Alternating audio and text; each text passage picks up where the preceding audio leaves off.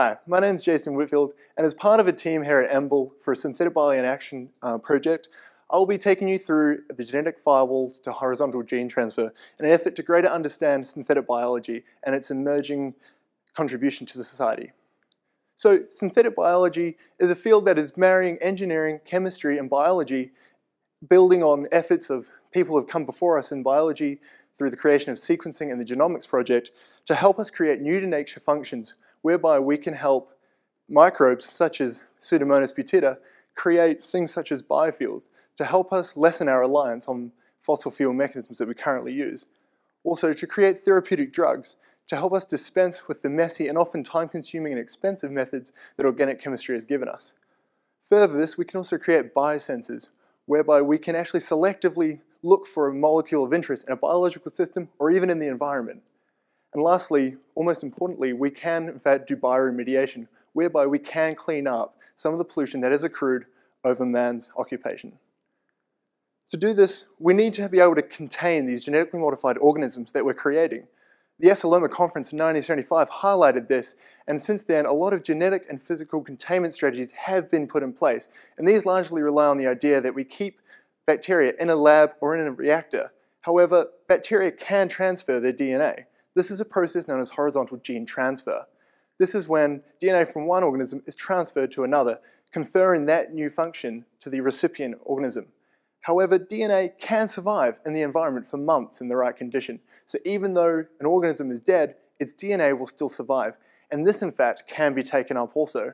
And this really highlights the idea that we need to create genetic barriers to this uptake or conference of genetically modified function.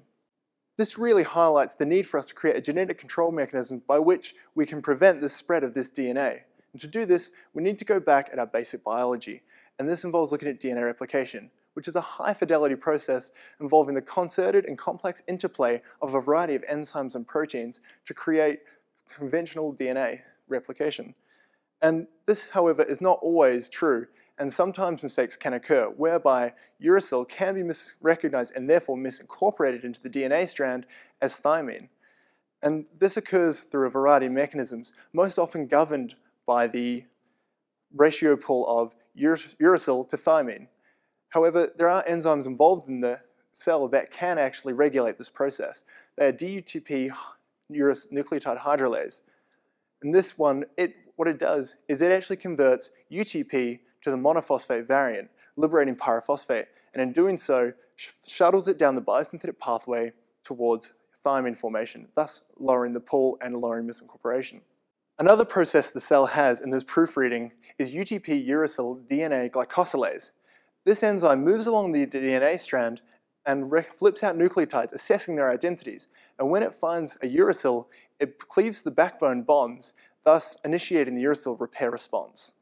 So Another mechanism that can also occur is the deamination of cytosine to the uracil, thus increasing the pool of uracil present in the cell and the level of misincorporation.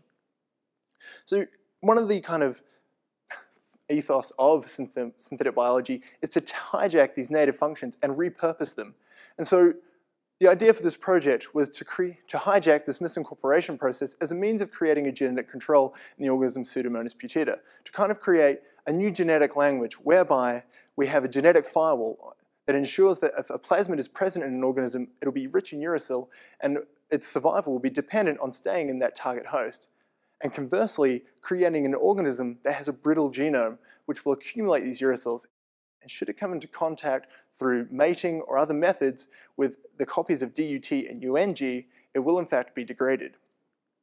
To look at the first example of these genetic firewalls in crumbly DNA, we have a case where we have a uracil-rich plasmid and via horizontal gene transfer is transferred to another organism. And rather in the usual case whereby the organism would confer this new function, the enzymes DUT and UNG present will actually recognize the uracil-rich DNA and thus degrade it preventing any spread of the DNA. In the other case of genetic missile lethal mating, we have an, a genome which is rich in uracil and should undergo mating with another organism or take up synthetic DNA from the environment that potentially contains these two enzymes UNG and DUT, they will be expressed, hijacking the cell's own polymerase functionality and degrading the DNA. So this, this method was coined in the De Lorenzo lab, whereby you take your gene of interest, and you, denoted here by the orange arrows, and you choose regions upstream and downstream, denoted as TS1 and TS2, to look to use as homologous regions later on. Then through conventional methods such as PCR, we can create a whole entire fragment that has these two regions. Then, following on from restriction digest and subsequent ligation, we can, use a, we can integrate them into a plasmid, which won't replicate in our host organism as it relies on a special polymerase, and therefore will actually integrate into the genome, hijacking the cell's own function of homologous recombination. And this works in such a way that when the plasmid enters, it will, by homologous recombination, it will identify with the TS1 domain, and through, we'll read through, and we'll actually see the entire plasmid incorporated into the genome. And now, due to the presence of specific restriction enzyme sites in both the plasmid and in other parts of the genome, we can actually induce the response of an endonuclease to cleave these sites, thus giving us two possibilities by which we can recombine the DNA. We can have the first situation, which is where TS2 recombines with TS2, or we can have the other situation, TS1 going to TS1.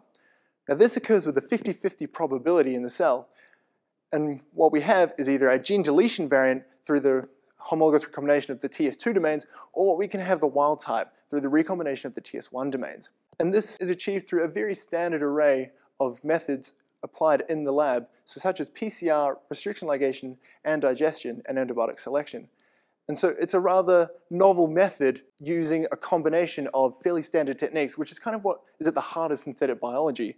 And through creating these gene deletion variants and allowing the uracil-rich incorporation DNA, we can actually do some basic analyses using fluorescence microscopy, relying on propidium iodide staining of DNA to check for the presence of our DNA before and after mating and before and after the incorporation of these two enzymes.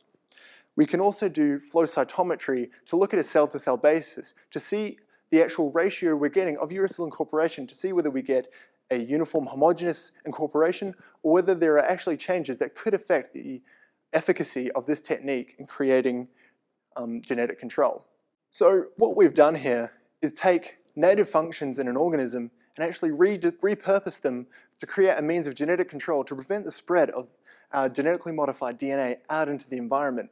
And that's really what's at the heart of synthetic biology is taking a native function, redesigning and repurposing it for our own means, such that we could potentially improve our quality of life, save our environment, or help us to greater understand the intricacies of the world around us.